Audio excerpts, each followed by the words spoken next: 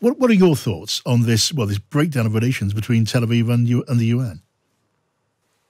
Well, I think Israel has always felt that the UN has been biased against it for a number of reasons. One, that the UN does spend a lot of time discussing the Israel Palestine issue and has done so over the last 30, 40 years.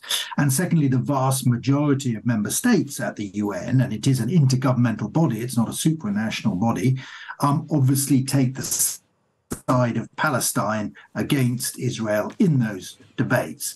So Israel always feels that it's in a, a small minority um, when it's being discussed at the UN. Yeah. Now, I think Israel at the moment is rather unwise to be picking up a fight with uh, Antonio Guterres because what Guterres said, as he clarified today, was fairly unexceptional and indeed a statement of the obvious in a sense when he said that um, these events didn't happen in a vacuum having already clearly condemned them as acts of terror and said that no Palestinian grievance could justify uh, such uh, horrendous uh, acts. And I think it's unwise of Israel. I mean, for a number of reasons. One is it further alienates them from potential allies. You've seen a tougher line being taken by Saudi Arabia. You've seen the comments by President Erdogan of Turkey today, who again was also had relatively good relations with Israel until recently, but is now openly saying that Hamas is a, is a, is a resistance movement, not a terrorist organization. And secondly, uh, Israel is going to need the UN. It needs the UN in the short term to help with the humanitarian uh, issues that there are in Gaza, but will also need the UN in the longer term after they have finished their military campaign and they hope eliminated Hamas as a military force and as a political organization mm. because someone is going to have to administer Gaza if it isn't Hamas.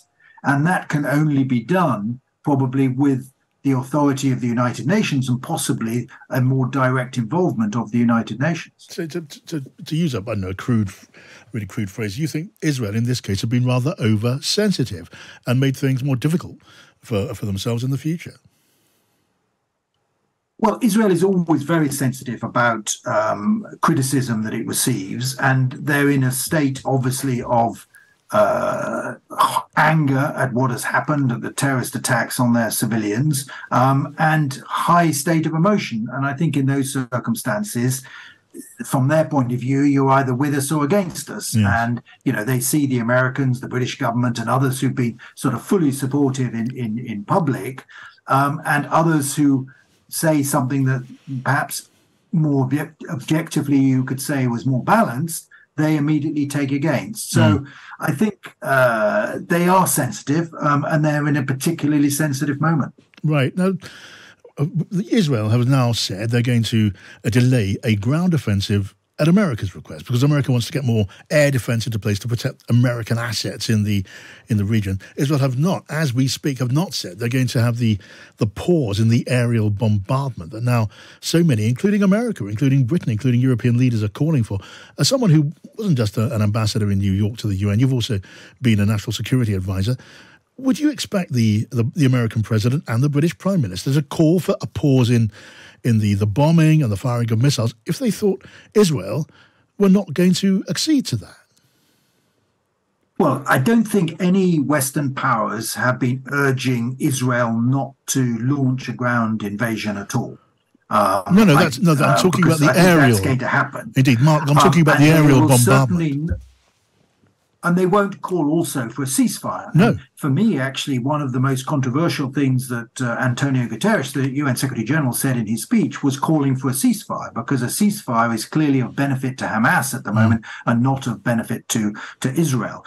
And is and the UK and American and various other Europeans would not support calls for a ceasefire. Yes. However, as you rightly say, they are calling for humanitarian pauses. Yes. So at least that there is some window, a few hours here, a few hours there, when there will it'll be completely safe from aerial bombardment. And so far, Israel has refused that, which I think is is somewhat surprising. Mm. But they have taken this very tough line on a complete siege of Gaza, despite the fact that that is contrary to international humanitarian law, um, and they aren't showing much sign of letting up on that at the moment. Yeah. So I mean, you're being you know, in, in temperate language, but you're being critical of Israel here in their approach to the UN, in the way uh, they are responding to these calls or not responding to calls for a humanitarian pause in the aerial attacks on Gaza targets. Do you, Mark, do you think Israel has thought through how to escalate this attack eventually into a ground invasion and save hostages and remove Hamas and then help Gaza or see uh, Gaza transition to a new form of government? Have they a plan that they've, that they've thought through, do you believe? Well, I think one of the reasons for the delay, I mean, it's true that the Americans more recently appear to be saying, please delay while we get our own air defense systems in, in the region to protect our own troops.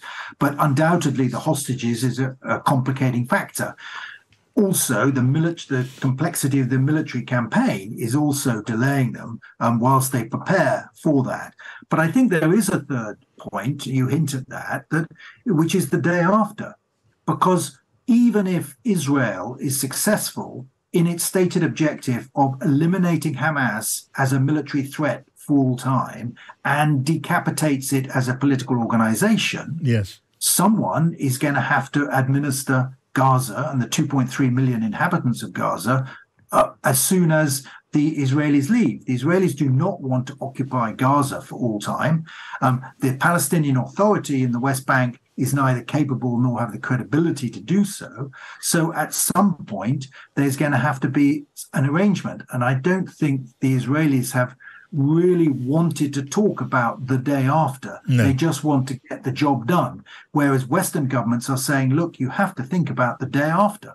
And I wonder what that is. Does that involve, in a word, does that involve the UN? Think it almost certainly will. I mean, because the two alternatives that I mentioned, uh, Israeli occupation and, and the Palestinian Authority, are not credible, at least in the short term, then I think you're going to have to have some sort of international involvement. Now, that could be a combination of uh, local, um, regional countries like Saudi Arabia and Egypt, um, but it could also be a sort of trusteeship, more wider international trusteeship of the sort that we saw in the past in Cambodia, uh, in uh, Kosovo and East Timor, etc. Um, to sort of hold the territory, to administer the territory just from a governmental point of view, whilst a Palestinian leadership, can, a new Palestinian leadership can be built up to take over uh, the territory.